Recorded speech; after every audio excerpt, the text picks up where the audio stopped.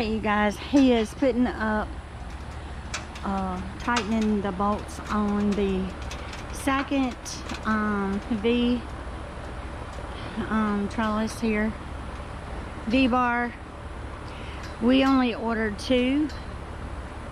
Um, this is just to kind of give you a little extra security for when um, you can go down every one, but we decided to do um, only two.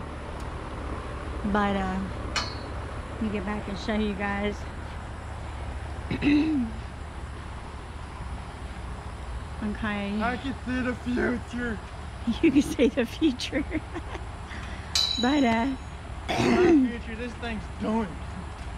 this um now we have to put the end walls on and the um um wiggle wire um uh base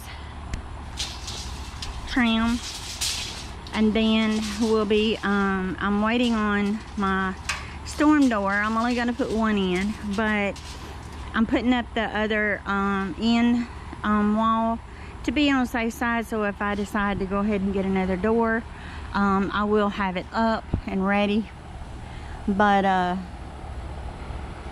let me get around here and show you guys. We didn't get to really do too much today. Um, the heat index was 106 today. And um, as you guys see um, it is coming along. And uh, I wanted to show you guys I didn't want to go through one step and uh, not record it. So we got both of them up.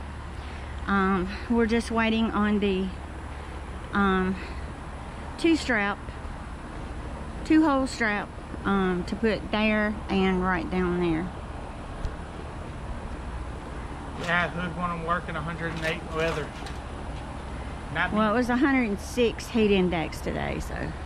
And you look on your phone, it's at 108. Oh yeah, it did. At one time, we seen 108 on there. Um, so 108 heat index was just crazy. And uh, it's kind of cool right now, and we was trying to at least get this here done and hopefully tomorrow evening like it is now we can kind of get some of the other done and I'll have a, another video for you guys. All right God bless stay safe